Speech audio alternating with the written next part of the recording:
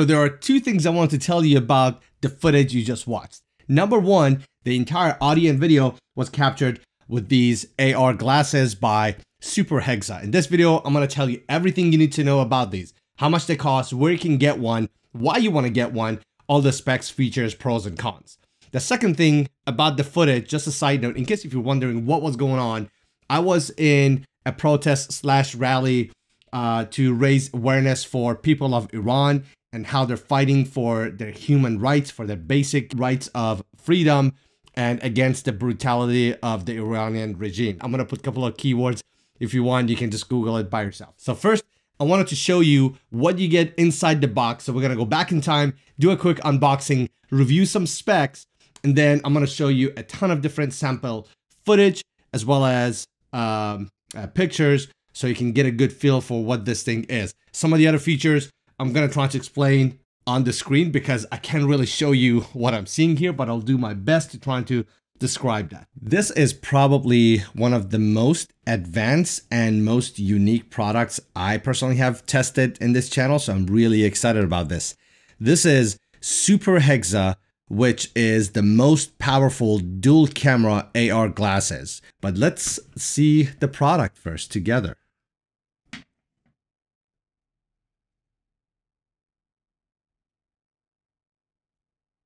It weighs about 100 grams, consists of two lenses. Uh, you have your wide lens at, I believe it's 28 millimeters, and it captures photos at 50 megapixel. And then you have your zoom lens, and this is your 5x uh, zoom lens, which basically will get you equivalent of 120 millimeter lens. And then you can also get a combined 15x hybrid zoom. This is a Sony OLED screen you have for uh, your AR content. For example, when you're shooting, you can watch what you're doing and so on and so forth. I'm going to take a look at some of those capabilities and what the app offers. Uh, this, I believe, goes up to 1800 nits, so it does get very bright. This is not waterproof, uh, so just kind of keep that in mind. There are, i I've been thinking about some use cases, right? So number one, for me, there are two things that right off the bat comes to my mind. Number one, when I do my unboxing video and I want to shoot like a really cool uh, point of view, first person uh, view of the unboxing experience. This will be cool instead of this kind of like top down view. The other thing is when I go to the park with my son and I just want to play with him and I want to be able to capture some of those moments and I don't have to take out my phone every single time. And the final use case would be in any kind of like events that you go to. So not only you have the hands-free way of capturing, recording, or even zooming if you are far from the stage or whatever is going on. The battery in this thing is just under 1000 milliamp as far as use cases and how long this thing lasts, depending on if you're taking photos, how often you're taking them. It's anywhere between 100 minutes to 200 minutes of normal use. It does offer fast charging, and when it is fully dead, 30 minutes to go from 0 to 80% battery life. As far as the storage goes, 32 gigabytes. Obviously, that's the entire storage. The software and operating system itself occupies some of that. You can have four hours of continuous video uh, footage stored in the internal memory, but it does offer supposedly fast uh, transfer from the unit to your phone. This is the carrying case.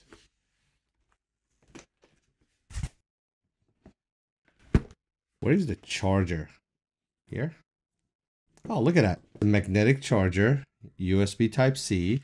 They in also included a USB type A to USB type C converter as well. Right at the top, that is your zoom lens and it's a periscope telephoto lens. Right between the two lenses, you have your optical sensor and then below that's your standard wide angle camera. To install the frame, you have to take out this piece of uh, silicone rubber. And there you have it. Your first look at the world's most advanced AR glasses that is mass produced or will be mass produced.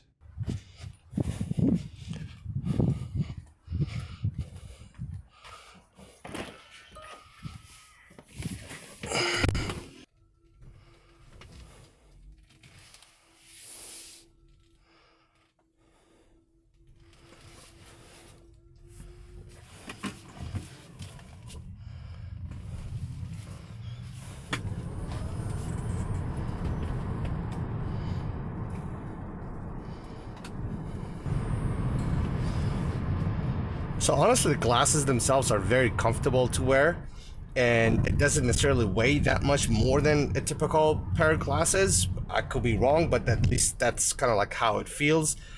And when you wear it, there is no way to ignore the the screen in front of your right eye. And when you're recording, there is no way to turn that off. So you just need to be be mindful of that. Uh, as far as rest of the functionalities, the way you start and pause is very simple. You just tap on the right side and you go ahead get started. And um, you can easily switch back and forth between photo and video mode by pulling down on the middle of the um, uh, the touchpad sensitive area. Uh, I did sometimes struggle when I was trying to switch back and forth. It wouldn't switch. I don't know if I was tapping and pulling on the wrong uh, on the wrong spot on the the, the sensitive touchpad area, but uh, just kind of like keep that in mind. As far as some of the other features, when you are recording, there is no way to have the screen off.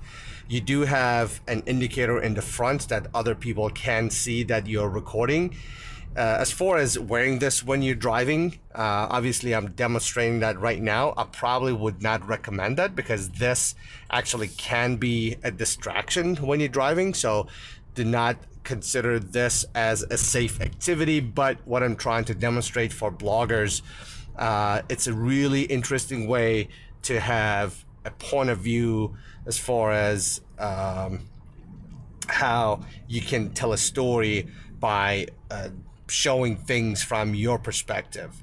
Uh, when it comes to the zoom in the video mode, you have the ability to zoom five times and you just simply swipe back and forth on the, uh, the touchpad on the right handle and it would easily zoom back and forth and it's very responsive the audio quality as you can see it's actually pretty good. In the other scenario that it was very loud outside i think it did a really nice job kind of like capturing the audio um, the way much better than i was anticipating.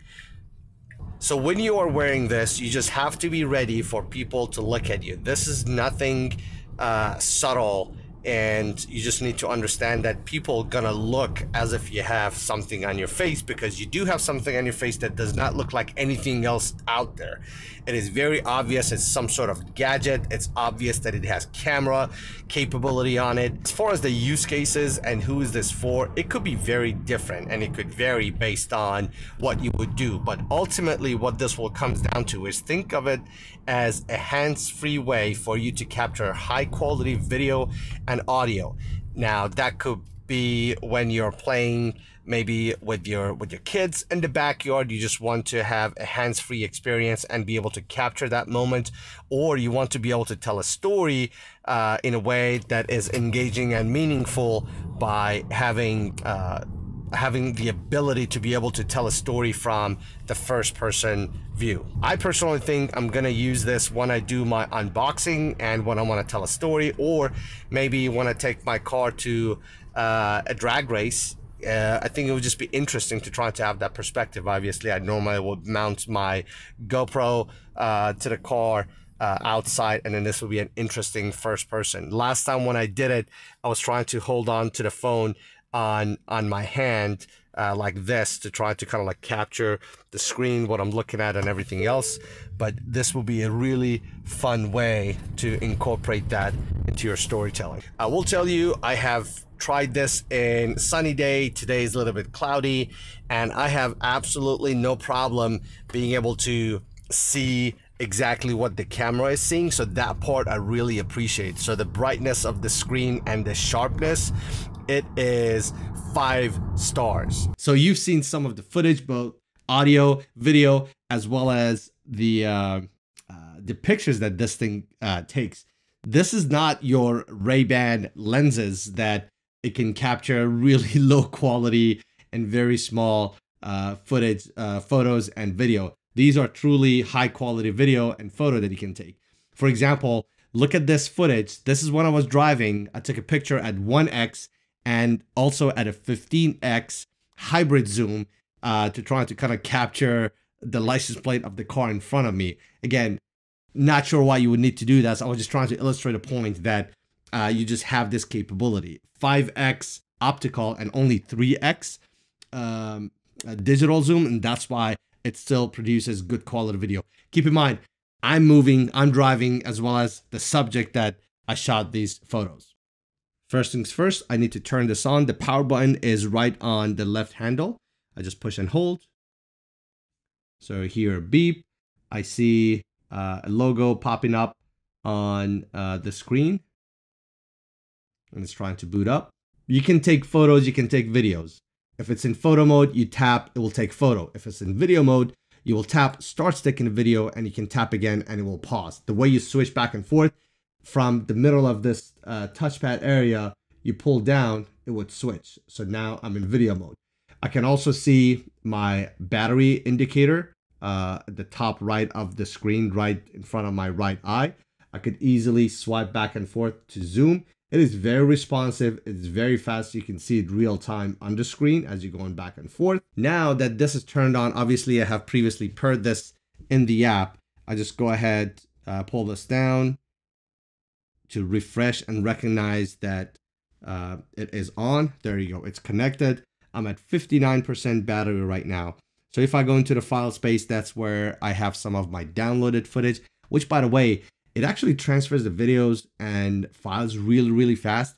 For example, a 30 second video, it takes only about three seconds to transfer. So a one minute video, only about six seconds or so. So at the top right, I can go look at my device list and go to the setting. I just want to show you some of the options it has. So clip duration, you can set the duration of a single recording, wide angle EIS, reduce jitter, and improve picture stability during video recording when you turn this on it can impact the battery life. I personally had it on the whole time that I was testing, multiple days, and it did not get to the point that I regret having this turned on. So I do recommend trying to have that on, especially since when you have this on, you normally it's on your head, it wobbles and moves, and just want to get rid of that jitter. So I highly recommend it. Dual mic noise reduction. None of the videos I used the dual mic noise reduction, and I was fine with the results that I got.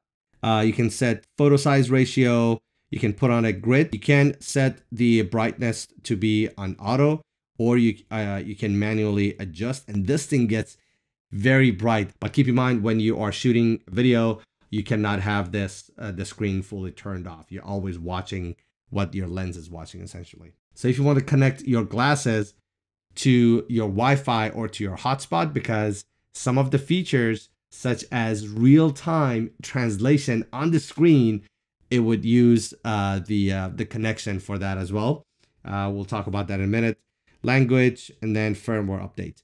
Over the air firmware update, it's going to be very important because they are in the process of doing several upcoming cool features that are not available right now, but it will be. For example, plant identification, voice control, uh, Bluetooth uh, shutter, combat identification, a witty and interesting function for comic fans. Let's see how the friends in the camera hide their fighting power. Live streaming support real-time sharing of pictures in front of your eyes to relatives and friends. That's gonna be sick. Again, it's not active for me right now to test, as well as developer mode. So, so with voice translation, first you need to connect to the network. So let me go ahead do that. So I wish I could show you this. So it, it gives you a couple of options. It says source language, I have Thai, French, Spanish, Hindi, English, Portuguese, German, Russian, and Italian. And then target language, I will say English, and then there's an option to start. And then this thing real time, it listens and it translates and puts it in my face in English. So when you're traveling, this could be kind of like cool. Il mio nome è Sean. Come ti chiami? My name is Sean. What is your name? It is sick real time translation with maybe one, one and a half second lag. But look, I'm not mad. This is crazy that it even offers that and it offers that and it supports that many languages. So this thing, you cannot fold it. You can only carry it like this. The carrying case is high quality, it's very durable. You have magnetic charger that you can hide right in here. So it's very easy to carry the whole thing. Uh, it offers a decent amount of protection, uh, but if you're gonna put it in a luggage somewhere that is gonna put a lot of pressure, just keep in mind this is a, still a soft shell, even though it has padding, but this is still a soft shell case. It's gonna be released retail at $6.99. Early bird price, I think, is gonna be when it's released at $3.99.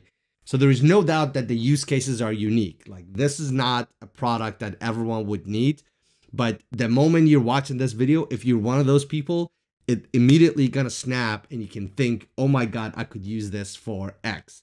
For me, it's gonna be uh, capturing um, unboxing videos. It's gonna be really cool instead of having the top-down view. Get let the people kind of like see what I'm seeing and what I'm experiencing this has been it. Hopefully, I was able to capture what this thing is and is not, and ask questions. I really want to know what do you think about this thing, and if you are interested in getting one of these things, whether you're actually going to buy or not, how would you be using this? That's what I'm interested in. Thank you so much for watching. I will see you in the next one. Links to everything you need to know down below.